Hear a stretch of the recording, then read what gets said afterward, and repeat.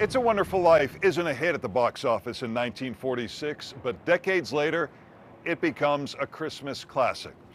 Our segment is not just the backstory of the Frank Capra film, it's a number of backstories and everything from sets to props and more.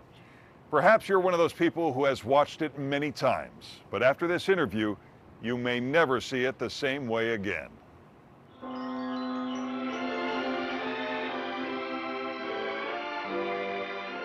It's a Wonderful Life is a wonderful story that has it all romance, good versus evil, the American dream, friendship. I think the secret to this movie is that it's a roller coaster ride of emotions. George saved his brother's life that day. Capra seems to make a point of every time he has to address a more serious subject, he follows it with a comedic and lighthearted topic. To me, it's a metaphor for life. There's much about the film you might miss. It has a, a 1940s and holiday flair to it. Michael Willian is a fan and author of The Essential It's a Wonderful Life. It's always been an opportunity to breathe new life into the film so people can share it on a deeper level. He meets us at the Davis Theater in Chicago's Lincoln Square. He inspects the foreground and the background to explain the moments or mementos that will make this classic film seem new again.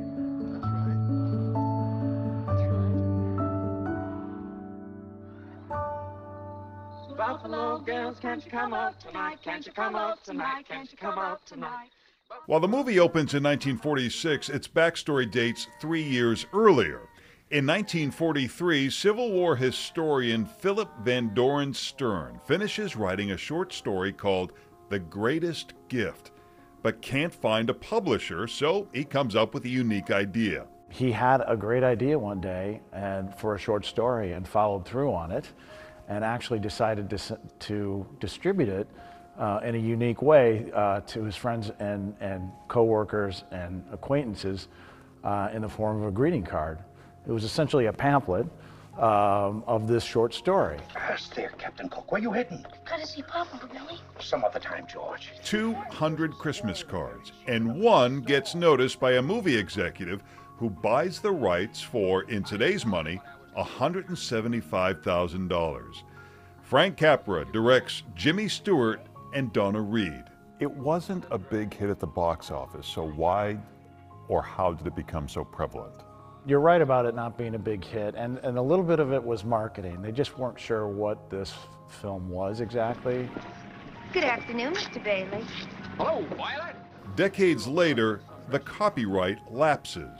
And that's when it essentially entered the public domain, and uh, TV stations started showing it over and over again, and it started to become part of the fabric of our holiday experiences. I love watching this film in, in black and white, and that was Capra's original intent mm-hmm. artistically. Um, but I also enjoy seeing it, the colorized version. Hope you have a good trip, George. Uncle Billy and I are going to miss you. You've seen the action up close, but instead of the foreground, this time we'll look at elements of the background and anecdotes from the cast and crew. Genuine English cowhide, combination lock, fitted up with brushes, combs. This is a wonderful scene. This is actually on a back lot in Encino, California. I don't want one for one night. I want something for a thousand and one nights. With plenty of room here for labels from Italy and Baghdad, Samarkand, great big, sir. Samarkand is in Uzbekistan. It's actually north uh, of Afghanistan. It was known as the Rome of the East and was on the Silk Road. It does make sense that a faraway place like Samarkand has caught his eye. I've been nominated for membership in the National Geographic Society. George is an explorer, right? And he's reading National Geographics. So totally understandable that George would want to go there.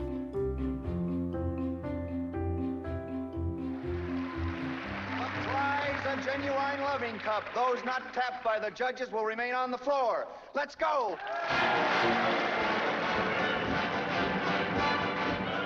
brilliantly selected by Capra. It's actually a place called the Swim Gym. It still exists today, and it's at the Beverly Hills High School. And in 1940, they came up with this idea to save space, to put the, the gym floor over the pool. It's a one taker. Like, there's no way you're going back and doing this again. Yeah. So they had to get it right. The predicament that Capra was in, he didn't want to have to try to Right. try to recreate this a second time with Yeah. people jumping in the water. The other thing is that the, the kids got paid an extra $50 if they were willing to jump in the water. and so in today's dollars, that's, That's 700 bucks. Wow.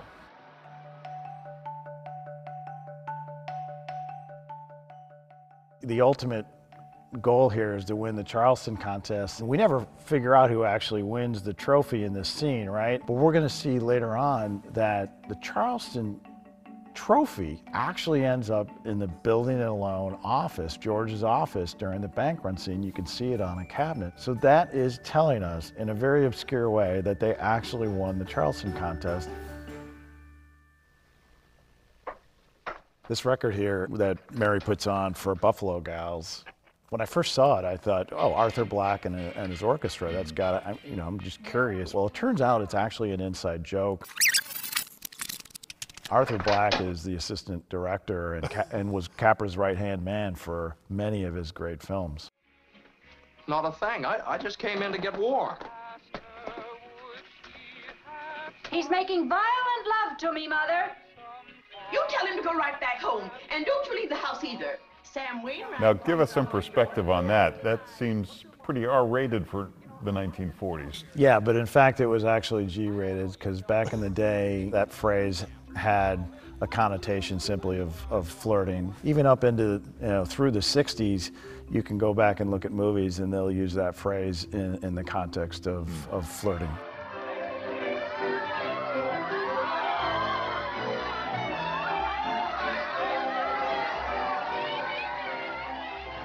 You notice something after they get married. What did you notice? Yeah, so George actually isn't wearing a wedding band. Bert, the cop sent this over.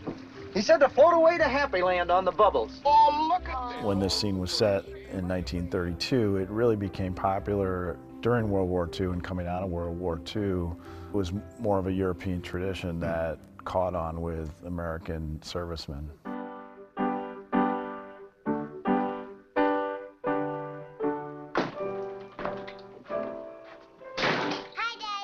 Toy soldier, he's playing a drum. It's actually a wind up toy, Japanese toy made in the 1930s. And it makes sense that she would have a toy on her bedstand. You know, I always think of this toy as kind of looking over her, you know, watching over her, making, taking care of her. But what's funny is the actor, kids on the set, like they would play with these toys. You can see that he has There's the drum. a drum that goes with it, and it, it sticks into his waistband. If I can,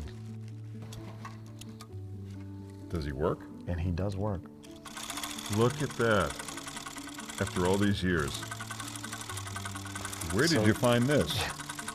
I just got lucky. Sometimes you you know you do your research and you stumble upon upon it, and it, it's it's a match, for sure. It's not the actual prop, but it is Yeah. a match to what's on Zuzu's nightstand. And- so it's fun to think about her playing with this toy.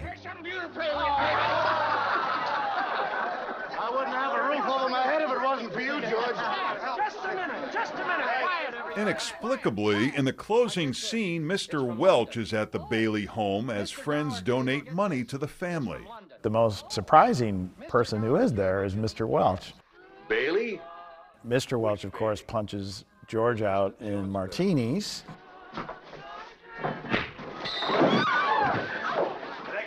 So he's not in our, our good graces, but here he is at the end of the film. Capra, at this point, was so pressed to cut time out of this film that he had to make some decisions. And the net effect is Mr. Welch is prominently placed in this scene, but with no context. Right. Well, that helps explain why he was there. Harry Hall about your banquet in New York. Oh, I left right in the middle of it. As soon as I got Mary's telegram. Good idea, Ernie. A toast. to my big brother, George, the richest man in town. What is it that people discovered watching it decades later that they enjoyed that audiences didn't enjoy years earlier? I think it's at the heart of it is the messaging, right? I mean, the, the messaging rings true to us. The value of our life and, and the importance of reminding ourselves on a yearly basis, and the holidays is the perfect time to do that, of the a positive impact that we have on each other's lives.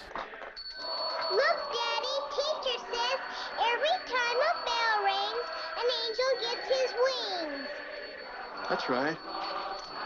That's right. Attaboy, Clarence.